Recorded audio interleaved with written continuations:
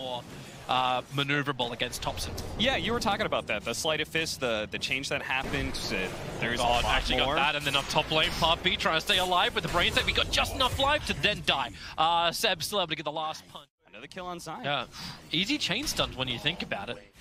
Like Oracle just sets you up for the crush. Ceb's going to get two attacks in, and with the uh, with the enfeeble just slowing the attack speed down, it's almost like the counter to the bash of the deep. Uh, being able to get, up those four charges nice and quick. But Ceb still timed it nicely. Bottom lane, uh, in a lot of trouble. Actually going to get picked up by YapzoR and thrown down. He uh, is just kind of caught out. Doesn't doesn't level Rage. Went two points in the feast instead.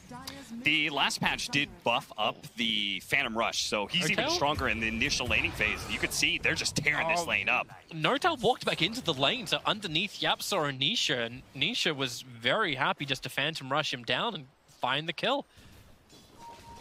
Yeah, this is definitely not the start that OG wants. And it just needs to get the hell out of here. They've got no tier 1 town to retreat out to. Instead, it's Ceb just trapped. Maybe he's not that trapped. They jump in, looking for the hits over on top of Zai. And with the Willow Wisp, they hold him in position. Topson, he's got the buff up. Now moves attention over towards Puppey. He'll nightmare him up. They pick him, pick him back out of it. And the hit. It's a perfect slapdown. Puppey will fall. YapzoR, will he actually follow? You know Topson wants to find the kill, but TP support's coming in. And it's the big one. It's the Phantom Lancer looking to find MidOne. He actually doesn't get in. Yeah, he gets the root over on Topson. That's enough to get himself a double kill now. Getting those back-to-back ones. Wants to get another one. Ceb on the run up the hill. Where's the support? N0tail can't do anything. He's got 10 stick charge, but not enough, well, any support to really do anything.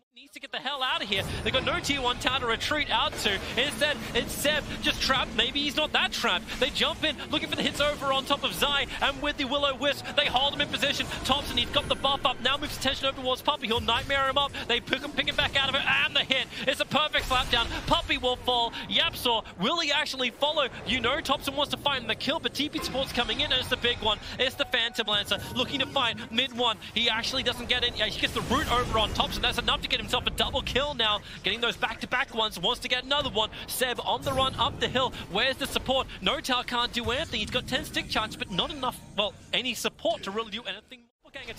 He just keeps jumping away, and YapzoR protecting him with that Lotus Orb. You've got the implication. Now they can finally take care of Puppey. He'll go down for the count, and Topson, the protection. He actually tried to dodge it with the mischief, turning the attack in towards Zai, who's got a little bit more distance. The Sleight of Fist Searing Chains can't control enough. There's buying more space for Nisha in the backline. Zai trying to get up the hill. He'll go down. Buybacks available, instantly committed. They need to find this kill over on the Monkey King. He doesn't have the Aegis, the Immortal. They want to bring him down. Nisha's doing the work. This is just PL action while MidOne supporting, casting from the back lines. Another great control. Do they have enough? Ceb's about to fall as well. Here he goes. Topson and Ceb is down. And ILTW, the life stealer, he almost feels alone, but he's not. JerAx is Shard for yourself.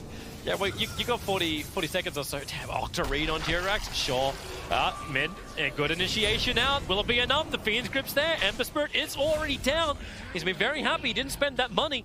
But with the so they let the mid melee racks go, tossing everything else they've got for the jump forward step. He's looking for the kill over on Rubik. They can't afford to die in MidOne. He has no other choice. He has to come into this fight underneath the Wukong command of Topson and the Willow Wisp. Nisha's in trouble. He'll jump up, but he's still in range of the IO ball, and he's pushed around. Another doppelganger, it won't work. He'll go down. MidOne's BKB will allow him a little bit of protection with the PL buying back. They need to find some kills. They need to make this worth it in some way, shape, or form because OG, they're continuing the rampage. Forward, in towards the Conquer, the slapdown. It connects on the MidOne, the back lines, and Ceb's already there, but the Searing Chains will not allow him to get the crash off. That was on cooldown anyway. Two.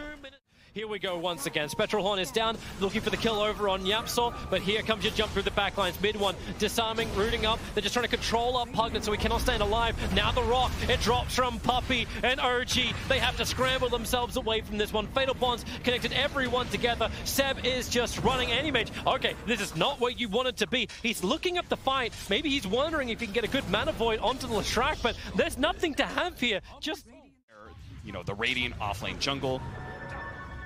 JerAx. Topson's going to be in there. Midnight Pulse. Pull him back in, but the Rock as well. So Fatal Bonds connecting Topson and JerAx together. Nisha moving forward. He's got the Aegis Immortal. He wants to fight, so they'll just root up the Pugna, follow up with the stun, and this will be two heroes from OG very quickly teamed up. But then ILTW jumps in for the fight, kills off YapzoR. But is this going to be enough for him? He's got the Manta Style, and no, well, actually, Mana Void is back off cooldown. Nisha has a large amount of pull that they could potentially use. Does he want to jump back in? Maybe not. When MidOne and Nisha both diving underneath the tier two tower, looking for the kill, and the supports are not rotating over. This is one very dead N0tail and Team Secret Goodbye back.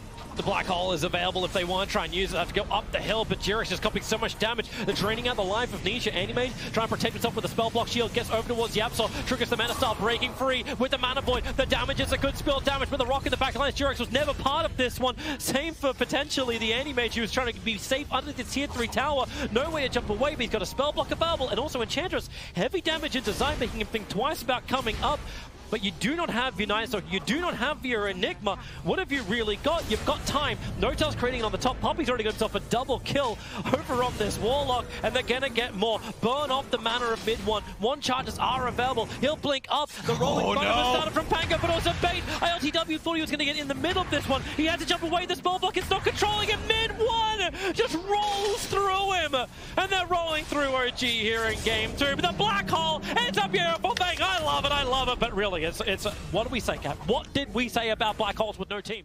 Like the Spectre lane that's, or something. That's, that's, a, that's, a, lot of what ifs. Yeah, there's Spectral Horn reveals all of them, and they're in a great position. The Fatal Bonds are rock three together. OG, not what they want to have happen for It's, you can't get away. It's only going to be three. Ceb gets hit by the Rolling Thunder of MidOne. Look where N0tail actually hides. He knows this will be a dieback for him if he goes down. It's actually Anti-Mage. Okay, maybe I can kill off MidOne. Maybe I can have the money and all the solo experience that goes with it. Or maybe I can just die. Zai is going to be there to land the stun, turns on the pulse Nova. This is the game. Everyone from OG is dead. GG is the call.